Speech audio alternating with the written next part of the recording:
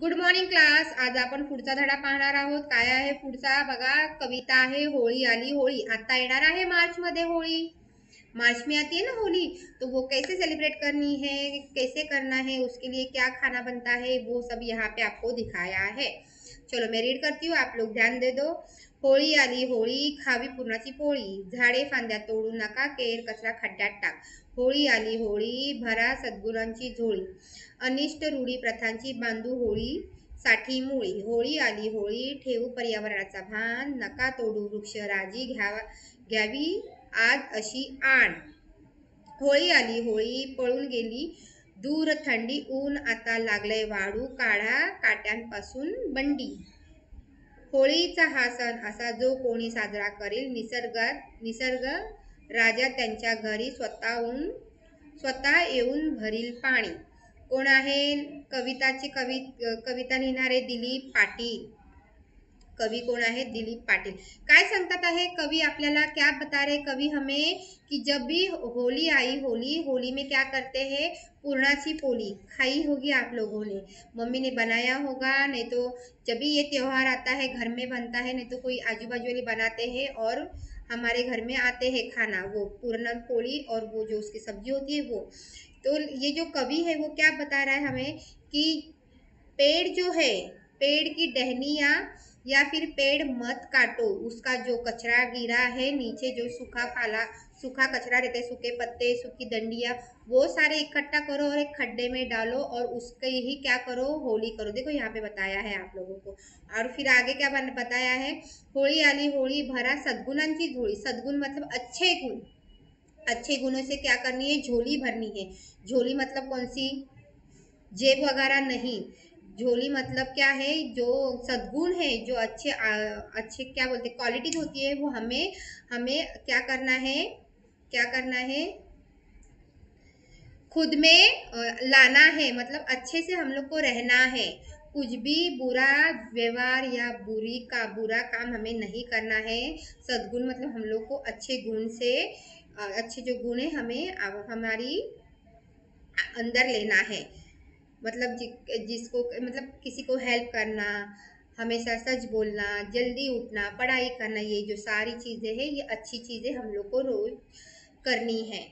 अनिष्ट रूढी प्रथांची बांधून होळीसाठी मुळे। अनिष्ट रूढी प्रथांची। अनिष्ट रूढी मतलब जो पुराने ख्याल है वो हमें क्या करने हैं? पीछे ही छोड़ने हैं। और जो रूढ़ी प्रथा है पुराने जो पुराने ज़माने में होते थे, जे अभी तो बहुत हमारा जो ये जो कल्चर है, बहुत आगे गया है। अभी पुराना कुछ हम लोग को दिखाई नहीं देता। बट आपने सीरियल में देखा होगा, देखो बाबा साहेब अंबेडकर का सीरियल दिखाते हैं टीवी पे, हिंदी में।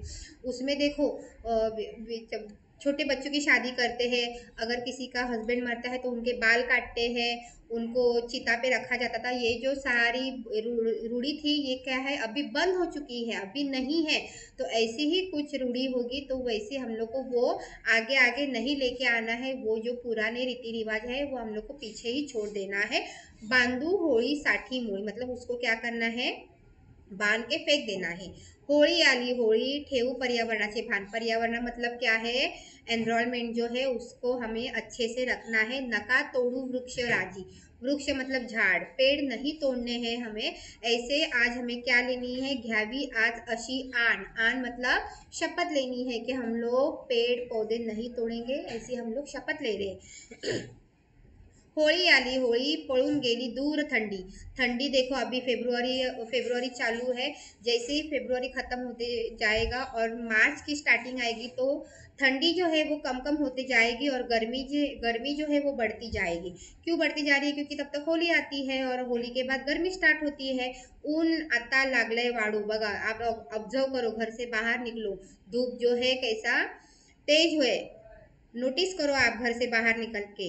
काप काड़ा कपाटतून बंडी बंडी मतलब जो ब्लैंकेट होते हैं गोदड़ी होती है, चद्दर होती है जाड़ी जाड़ी वो सब निकालने बोले हैं। कौन बोल रहा है? कवि बोल रहा है। वो तो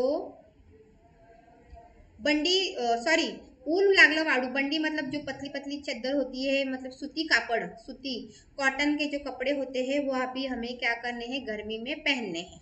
हाँ होळीचा हा सण असा जो को साजरा करील, निसर्ग राजा घरी स्वतःहून घेऊन पानी भरे होली का जो ये त्यौहार है, कैसे हम लोग को सेलिब्रेट करना है, अच्छे से सेलिब्रेट करना है मतलब कैसे पेड़ पेड़ों को तोड़ना नहीं है और जो मतलब उसकी जो सूखा जो कचरा होता है, उसको ही हम लोग को क्या करना है, जलाना है मतलब उसकी ही होली करनी है। तो जो हम लोग का एनवायरनमेंट है, वो कैसा रहेगा? ग्रीन ग्रीन से हरियाली से भरा रहेगा।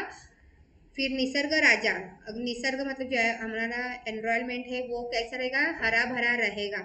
अगर हमारा एनवायरनमेंट हरा भरा रहेगा, हमारी पृथ्वी हरी भरी रहेगी तो बारिश भी अच्छे से होगी। और फिर निसर्ग राजा मतलब जो निसर्ग राजा है, वो हमारे घर में पानी भरेगा पानी भरेगा मतलब सचमुच पानी भरने नहीं आएगा मतलब क्या है, बारिश अच्छे से होगी, फ़सल अच्छे से होगी, फ़सल अच्छे से होगी तो हम लोग को खाने को भी अच्छे से मिलेगा, ऐसा यहाँ पे बताया गया है, ठीक है? इसके जो क्वेश्चन आंसर है, मैं आप लोगों को बाद में देती हूँ। Thank you bye